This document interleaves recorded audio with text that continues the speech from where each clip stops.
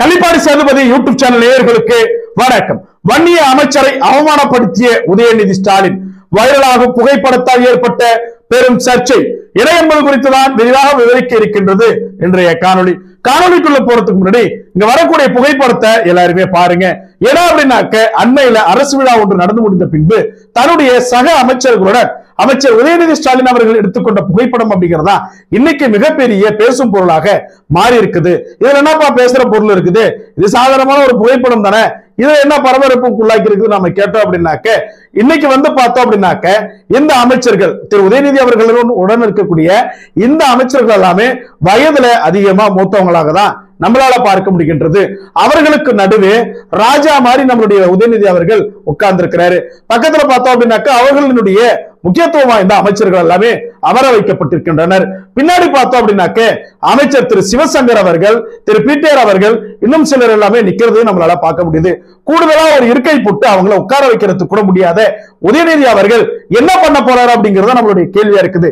இதையெல்லாம் தாண்டி சமூக ரீதியாக நம்ம பேசணும் அப்படின்னாக்க அமைச்சர் சிவசங்கர் அவர்களை அந்த இடத்துல வந்து பார்த்தோம் அப்படின்னாக்க ஒரு ஓரமா நிக்க வச்சு அந்த புகைப்படம் எடுத்திருக்கிறாங்க. இது எந்த அளவுக்கு ஒரு நியாயமான புகைப்படமா இருக்கும்? அமைச்சர் என்றால் சரிநிகர் சமம் தான் எல்லாத்துக்குமே. இன்னைக்கு வந்து ஏவாவையில உட்கார்ந்து இருக்காரு அவரை விட ஒன்றும் தரந்தாழ்ந்தவர் கிடையாது. திரு சிவசங்கர் அவர்கள் ஒரு வன்னிய சமுதாயத்தை சார்ந்த பாரம்பரியமானவர். அவர் வந்து பார்த்தோம் அப்படின்னாக்க உங்க குடும்பத்துல வந்து இன்னைக்கு திமுகவுடைய மிக முக்கியமான ஒரு நட்புக்குரியவர். அப்பேற்பட்ட அமைச்சர் திரு சிவசங்கர் அவர்களை ஏன் ஒரு சேர் உங்களுக்கு கிடையாது? மத்தவங்களுக்கு பேசலன்னா மத்தவங்களுக்கு நாம பேசாம முதலில் கொதிப்பது என்னுடைய ரத்தம் என் சமூகத்திற்காக பிறகு கொதிப்பது பொதுநலத்திற்காக.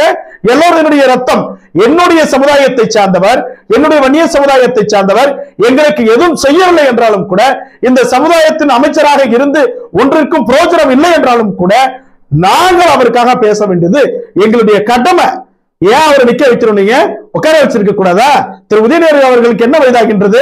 55 வயசுக்கு மேல ஆயிடுச்சா அவருக்கு உங்களுக்கு பத்து வயசு வித்தியாசம். பக்கத்துல உட்கார வச்சிருந்திருக்கலாம் ஒரு சேரை போட்டு இல்ல பின்னாடி ஒரு சேர் ஒரு அஞ்சாறு சேரை போட்டு எல்லா அமைச்சர்களையுமே உட்கார வச்சு நீங்க புகைப்படம் எடுத்திருக்கலாம். சரி அவர்தான் எடுக்கலன்னா நம்மளுடைய அமைச்சர் திரு சிவசங்கர் அவர்களை பார்த்து நாம கேட்கிறோம். இன்னைக்கு நீங்க ஒரு பாரம்பரியமான குடும்பம் அது மட்டும் கிடையாது உங்களுக்கு பின்னாலும் அரியலூர் மாவட்டத்தில் ஒரு கூட்டம் இருக்கின்றது. அந்த கூட்டம் எல்லாம் இந்த புகைப்படத்தை பார்த்தால் என்ன நினைச்சிருக்கோம்? நீங்க அதை உணர வேண்டாமா? நீங்க உட்காரத்துக்கு உங்களுக்கு அங்க இடம் இல்லையா? இடத்தை உருவாக்குங்க. ஏன் இப்படி பண்றீங்க எங்களுடைய கேள்வியா இருக்குது. இன்னைக்கு அரியலூர் மாவட்டத்துல இன்னைக்கு சிவசங்கர் அவர்களுக்குன்னு ஒரு கூட்டம் இருக்குது. அது திமுகவினுடைய கூட்டம் என்றாலும் கூட அது வன்னியர்களினுடைய கூட்டம். அந்த கூட்டத்தினுடைய பிரதிநிதியாக இருந்து கொண்டு நீங்க ஏன் அங்க போய் நிக்கிறீங்க? இதுதான் திமுகவினுடைய சமத்துவ கொள்கை சமூக நீதி கொள்கைன்னு சொல்லிட்டு நம்மளுடைய முதலமைச்சர் பல்வேறு மேடையில பார்த்தோம்னா உருட்டிட்டு இருப்பார். இன்னைக்கு சமரசம் உள்ள ஒரு இயக்கம் என்றால் எல்லாருமே சமமா அந்த இடத்துல உட்காரணும். எல்லாருக்கும் சீனியரா உதயநிதி அவர்கள். சொல்லுங்க பார்ப்போம் எத்தனை வருஷம் அவருக்கு வந்து பார்த்தோம் அப்படின்னாக்க அனுபவம் இருக்குது. எத்தனை முறை சட்டமன்ற உறுப்பினர் ஆக்கி இருக்கிறாரு தற்போது ஆனாரு உடனே மு- அவருடைய புள்ள அப்படின்றதுனால தூக்கி நீங்க அரியணையில உட்கார வச்சுட்டீங்க. சரி உட்கார வச்சுட்டீங்கன்னா இருக்கக்கூடியவர்களுக்கு எல்லாம் மரியாதை கொடுக்கக்கூடியது. அளவிற்கு கூட உங்களுடைய பிள்ளைக்கு தெரியாது என்பதை நீங்கள் கேட்க வேண்டாமா? இந்த புகைப்படத்தை நீங்க பார்க்காமலே இருப்பீங்க? எல்லாத்தையுமே அப்படியே நாங்க கடந்து போயிடணுமா? சொல்லுங்க பார்ப்போம். அமைச்சர் சிவசங்கர் அவர்களுக்கு ஒரு பாடம் தான் ஏன்னா நீங்க இந்த வன்னிய மக்களுக்கு செய்திட்ட துரோகம் என்பது இன்னைக்கு உங்களை அந்த இடத்துல நிக்க வச்சிருக்கு. எண்ணி பாருங்க. நீங்க மட்டும் இன்னைக்கு இந்த வன்னிய சமுதாயத்தினுடைய அனைத்து தரப்பிற்கும் குரல் கொடுக்கக்கூடிய ஒரு நபராக இருந்திருந்தால் இந்த சமுதாயத்தில் பிறந்த ஒரு எண்ணம் கொண்டவராக இருந்திருந்தால் இந்நேரம் நீங்க அங்க நின்னத்துக்கு அரியலூர் மாவட்டத்துல திமுக கூடி ஒண்ணு இல்லாம இருந்திருக்கும். அந்த அளவிற்கு உணர்வு மிக்க ஒரு சமுதாயத்தினுள் பிறந்த நீங்கள் இன்னைக்கு ஒரு ஓரமா நிக்கிறத பார்த்தா எங்களுக்கு கஷ்டமா தான் இருக்குது. ஆனால் இந்த கஷ்டம் உங்களுக்கு தேவையான தேவைதான். அந்த ஒரு என்ன வயசாகும் அவருக்கு? ஒரு நாற்பத்தி மூணு நாற்பத்தி நாலு வயசு ஆகும் அவரு ஐம்பத்தஞ்சு வயசுக்கு மேல உங்களுக்கு ஆகும்னு நினைக்கிறேன். நீங்க நிக்கிறீங்களே இது எந்த அளவுக்கு மோசமா இருக்குது? ஏன் அமைச்சர் அவர்களுக்கு இது தெரியாத? உதயநிதி அவர்களுக்கு? எல்லாரையும் உட்காரவங்க ஏன் நிக்கிறீங்கன்னு சொல்லிட்டு இவரும் ஏஞ்சி நின்று போட்டோ எடுக்க வேண்டியதுதானே? ஒரு புகைப்படம் என்றெல்லாம் வந்து நம்ம பார்த்தோம் அப்படின்னாக்க சர்வசாதாரணமா அதை ஒதுக்கி வைக்க முடியாது. இது சாதாரண விஷயம் அல்ல. இதுவே வந்து பிற கட்சியில நடந்திருந்தா இன்னைக்கு ஊடகங்கள் இதை பெரிதுபடுத்திருக்கும். நீங்கள் எண்ணி பார்க்க வேண்டும். அமைச்சர் சிவசங்கர் அவர்கள் எண்ணி பார்க்க வேண்டும். நீங்கள் ஒரு வேலை பாட்டாளி மக்கள் கட்சியினுடைய ஒரு சட்டமன்ற உறுப்பினராக இருந்திருந்தால் உங்களுக்கான மரியாதை எப்படி இருந்திருக்கும்? இன்னைக்கு அரியலூர் மாவட்டத்தில் இருக்கக்கூடியவர்கள் உங்களை எண்ணி பெருமைப்படக்கூடிய அளவிற்கு இருந்திருக்கும். நீங்க இந்த சொந்த சமுதாய மக்களுக்கும் எதுவும் செய்யல. சரி போற இடத்துல உங்களையாவது பெருமிதத்தோட காட்டுப்பீங்கன்னு பார்த்தா அதுவும் கிடையாது. இன்னைக்கு அரியலூர் மாவட்டத்துல பெரும்பான்மை மிக்க சமூகமாக வன்னிய சமுதாயம் இருக்கு. நீங்க வந்து பார்த்தோம் அப்படின்னாக்க பிற்படுத்தப்பட்ட துறை அமைச்சராக இருந்தீங்க. என்ன பண்ணீங்க? இன்னைக்கு திமுக நீங்க இருக்கக்குள்ள நினைத்திருந்தால் நீங்கள் வன்னிய சமுதாயத்திற்கு ஒரு பிரதிநிதியாக நினைத்திருந்தால் உங்களை நிச்சயம் பத்து புள்ளி ஐந்து சதவீத இடஒதுக்கீட்டிற்காக குரல் கொடுத்திருப்பீர்கள். ஆனா இந்த திமுக பார்த்து என்ன பண்ணீங்க? இல்ல இல்ல அது ஆணையத்துக்கு போயிருக்குது. அது வழக்கு நிலுவையில் இருக்குது. அதெல்லாம் வந்தாதான் இடஒதுக்கீடு பத்தி பேச முடியும்னு சொல்லிட்டு அவர்களுக்கு ஆதரவாக வன்னியர்களுக்கு எதிராக பேசுனீங்க. சரி அது மட்டுமானா அதுவும் கிடையாது. எப்போதெல்லாம் பாமக உங்களை பத்தி கேள்வி கேட்குதோ யாரை பத்தி திமுக பத்தி கேள்வி கேட்குதோ அப்பெல்லாம் உடனே வந்து பார்த்தோம் அப்படின்னாக்க நம்மளுடைய அமைச்சர் வாயிலாக தான். ஒண்ணு நம்மளுடைய முட்டத்தார் வழியாக வரும். இல்ல அப்படின்னா நம்மளுடைய காட்பாடார் காட்பாடியார் வழியில வரும். இல்லைன்னா நம்மளுடைய திரு சிவசங்கர் அவர்களினுடைய வழியில லெட்டர் பேடுக்கு கையெழுத்து போடக்கூடிய அளவுக்கு தான் உங்களை திமுக வச்சிருக்குது அப்படின்றத நீங்க புரிஞ்சுக்கணும். இதையெல்லாம் தாண்டி தலைமைத்துவம் என்பது திமுக முற்றிலுமாக அழித்தொழிந்து விட்டதாக தான் நம்மளால பார்க்க முடியுது. ஏன்னா இன்னைக்கு சாதாரணமா பார்த்தோம் அப்படின்னா அமைச்சர்களுக்குள்ளான இடப்பங்கீட்டுல வந்து இன்னைக்கு திமுக மிகப்பெரிய சதி செஞ்சிருக்குது. அப்புறம் எதுக்கு நீங்க வன்னிய சமுதாயத்துல வந்து பிறந்துட்டோம்? வன்னியம் தான் நானும் சொல்லிட்டு இந்த அமைச்சர்லாம் ஓட்டு கேட்கறீங்கன்னு எங்களுக்கு தெரியல. பதிமூணு எம்எல்ஏக்கள் தான் இருக்கிறாங்க. திமுகவுல முக்குலத்தோர்கள் அவர்களுக்கு அஞ்சு அமைச்சர் பதவி கொடுத்து கொடுக்கப்பட்டிருக்கின்றது. இப்ப இருபத்தோரு எம்எல்ஏக்கள் இருக்கிறீங்க வன்னிய சமுதாயத்தை சார்ந்தவர்கள் திமுகவுல. ஆனா உங்களுக்கு எத்தனை கொடுக்கப்பட்டிருக்கு? மூன்று அமைச்சர் பதவி தான் கொடுக்கப்பட்டிருக்கின்றது. இன்னும் பிற இதுல போய் பாவடி நாசர் அவர்களை தூக்கிட்டு திருப்பி ஒரு முஸ்லீமை போடுவாங்கன்னா அதுல ஒரு முக்கியத்துவம் தான் வந்து உட்கார்ந்திருக்காரு. ஏன்னா அவர்களுக்கெல்லாம் அந்தந்த மக்கள் வேண்டும். இன்னைக்கு நான் கேட்கிறேன் நம்மளுடைய எம்எல்ஏ நாளைக்கு வந்து அமைச்சர் அவர்களுடைய பெயர்கள் யாராவது வந்தாங்கன்னா அவங்களுக்கு ஒரு அமைச்சர் பதவி கொடுப்பாரா நம்மளுடைய முதல்வர் அப்படின்னா நிச்சயமா கொடுக்க மாட்டாரு. ஏன்னா பெயரளவுல மட்டும்தான் அவங்களை வச்சிருக்கிறாரு. இன்னொரு விஷயத்த நம்மளுடைய அமைச்சர்கள்லாம் புரிஞ்சுக்கணும். நம்மளுடைய எம்ஆர்கே அவர்களாக இருந்தாலும் சரி நம்மளுடைய சிவசங்கர் அவர்களாக இருந்தாலும் சரி துரைமுருகன் அவர்களை விடுங்க. ஏன்னா அவருக்கு வந்து வயது ஒரு முப்பது இருந்துச்சு. இன்னைக்கு அவர் திமுக ஒரு முக்கிய பிரமுகர் சொல்லிட்டு அவரே சொல்லிட்டு இருக்காரு.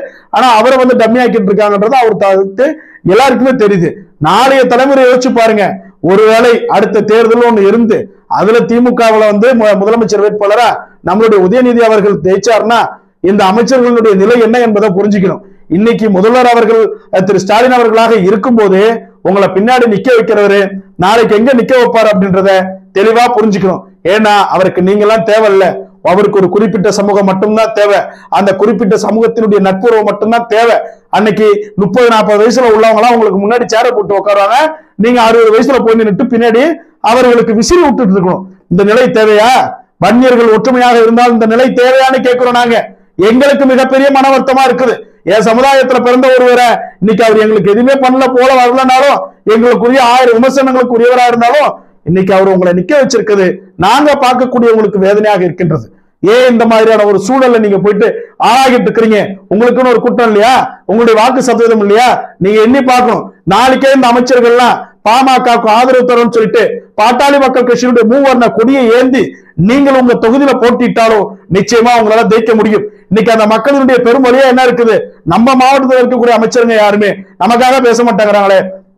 உதாரணத்துக்கு நம்மளுடைய கடலூர் மாவட்டத்தினுடைய வேளாண்மை துறை அமைச்சராக எம்ஆர்கே அவர்கள் இருக்கிறாரு. என்எல்சிக்கு நமக்கு ஆதரவா நிப்பார்னு பார்த்தா என்எல்சி நிர்வாகத்துக்கு ஆதரவாக இருக்கிறாரு இந்த மக்களுக்கு எதிராக இருக்கிறாருன்னு சொல்லிட்டு அங்கேயும் பெரும்பான்மை சமூகம் வன்னியம் சமுதாயம் உங்கள் மீது ஒரு அதிருப்தியில் இருக்குது. இங்க அரியலூர் மாவட்டத்துல பார்த்தோம் அப்படின்னாக்க அனிதான் சொல்லிட்டு ஒரு பொண்ணு நீட்டுக்காக இறந்ததை பெருசுபடுத்தி பேசுனாங்க.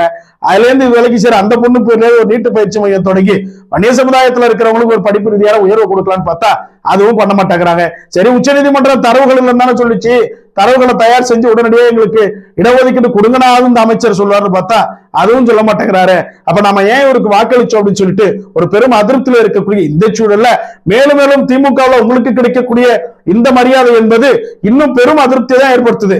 ஏன்னா வன்னிய சமுதாயத்தை சார்ந்தவர்களுடைய ஒரு உணர்வு என்ன தெரியுமா? நாங்க எங்களுக்குள்ள எவ்வளவு வேணாலும் பேசிப்போம்.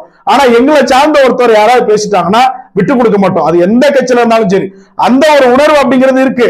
ஆனா அந்த உணர்வு ஓட்டா மாறுமானா இந்த சமுதாயத்து மத்தியில மாறுறது கிடையாது. அதனாலதான் இன்னைக்கு நம்மளுடைய நம்ம சமுதாயத்தை சார்ந்த அமைச்சர்கள்லாம் திமுக இருந்தாலும் வேற யார் பேசுறது அவங்களுக்காக. நம்ம தான் பேசி ஆகணும். அவங்களுக்கே நாளைக்கு ஒரு பிரச்சனை அப்படின்னாலும் ஐயா தான் குரல் கொடுப்பாரு. சின்னையா தான் அறிக்கை விடுவாரு. வேற யாரும் எதுவும் பண்ண போறது கிடையாது. அப்ப நம்மளுடைய அமைச்சர்கள் இப்படி போய் நிக்கிறாங்களே? இன்னைக்கு வந்து பார்த்தோம் அப்படின்னாக்க ஒரு வயது மூப்படைந்த ஒரு அமைச்சர் யாராவது ஒருத்தவங்க இருக்கிறாங்க மாற்று சமுதாயத்தை சார்ந்தவங்க வைங்க. உதயநிதி அவர்கள் உட்கார்ந்து உள்ள பின்னாடி நிக்க வச்சா நேரம் வந்து என்ன பண்ணிருப்பாங்கன்னா மிகப்பெரிய அளவுல ஒரு கண்டனத்தையே தெரிவிச்சிருப்பாங்க.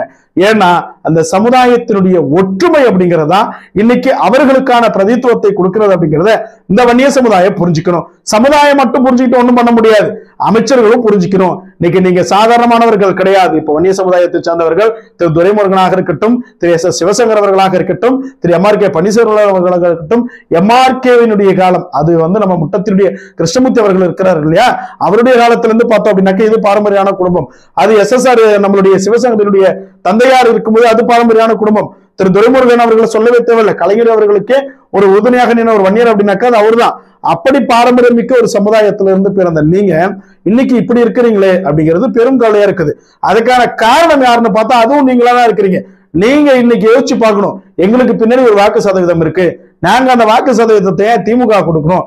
நாங்க எங்களுக்கு அடையாளமா இருக்கக்கூடிய எங்க ஐயாவுக்கு கொடுத்தோம் அப்படின்னா எங்களுக்கு போதிய வந்து மரியாதையும் தாண்டி பெரும் அங்கீகாரம் இருக்கும். எங்க மக்கள் எங்களுக்கு நிம்மதியா வந்து பார்த்தோம் அப்படின்னாக்க வாக்கு செலுத்துவாங்க.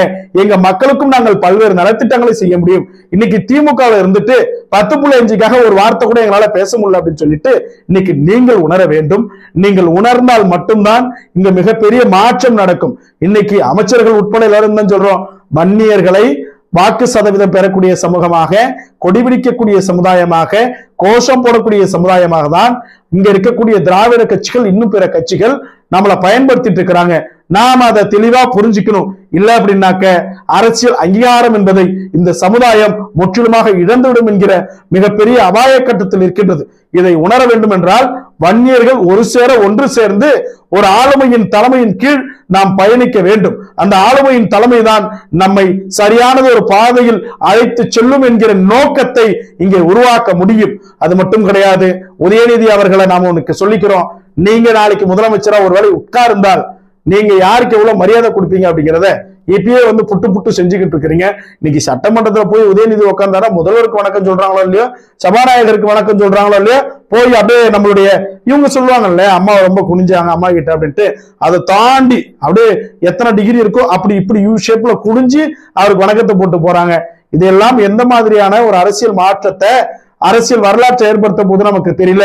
இருப்பினும் கூட வன்னிய சமுதாயத்தினுடைய பிரதிநிதிகளாக நீங்கள் இருக்கின்றீர்கள். நீங்க வந்து வன்னியர்கள் இல்லைன்னு சொல்லிட்டு நாளைக்கு எந்த இடத்துலயும் வாக்கும் கேட்க முடியாது. வன்னியன்னு சொல்லிட்டு தான் வந்து கேட்பீங்க. அப்படி இருக்கக்கூடிய நீங்கள் உங்களுக்கான அதிகாரமிக்க ஒரு இயக்கத்தை தேர்ந்தெடுங்கள். பாரம்பரியமிக்கவர்கள் நாங்கள் எல்லா இடத்திலும் திமுகவை பாதுகாப்போம். திமுகவை பேணி காப்போம் சொல்லக்கூடிய நீங்க உங்களுக்கு ஒரு சீட்டு அதாவது ஒரு நாற்காலியை கூட உங்களால காக்க முடியல அப்படிங்கிறத நீங்கள் உணர வேண்டும். மேலும் நம்மளுடைய மக்களினுடைய உணர்வை ஒற்றுமையை ஒன்று திரட்டி பாமகவின் பின்னால் நாம் அனைவரும் நடைபோற்று ஒரு வரலாற்றை இரண்டாயிரத்தி இருபத்தி ஆறில் உருவாக்கும் என்று கூறிக்கொண்டு மீண்டும் ஒரு காணொலியில் உங்களை சந்திக்கின்றேன். அதுவரை உங்களிடமிருந்து விடைபெறுவது உங்கள் கள்ளிப்பாடு சேதுபதி. நன்றி. வணக்கம்.